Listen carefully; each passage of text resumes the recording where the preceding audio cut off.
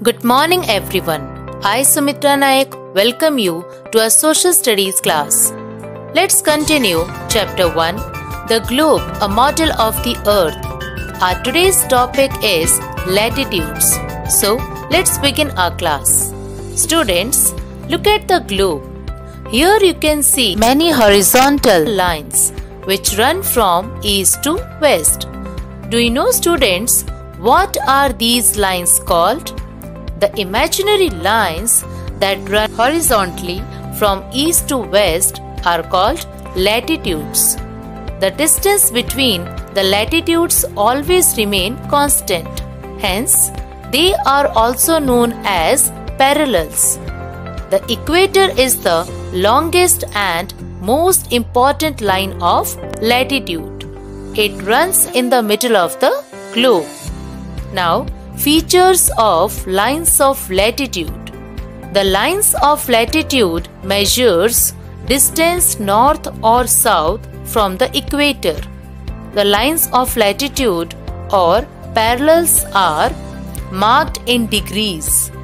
The length of the latitudes decreases as one moves towards the poles.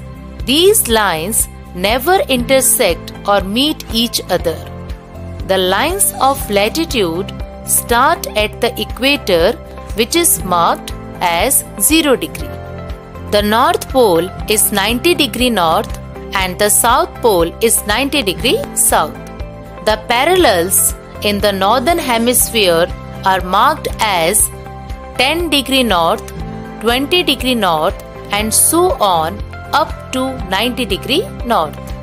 The parallels in the southern hemisphere are marked as 10 degrees south, 20 degrees south and so on up to 90 degree south.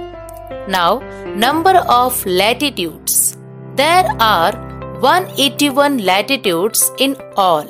90 lines in the northern hemisphere, 90 lines in the southern hemisphere and one line is of equator.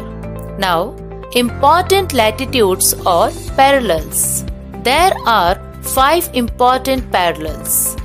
Arctic Circle at 66 half degree north, Tropic of Cancer at 23 half degree north, Equator is at 0 degree, Tropic of Capricorn at 23 half degree south, Antarctic Circle at 66 half degree south.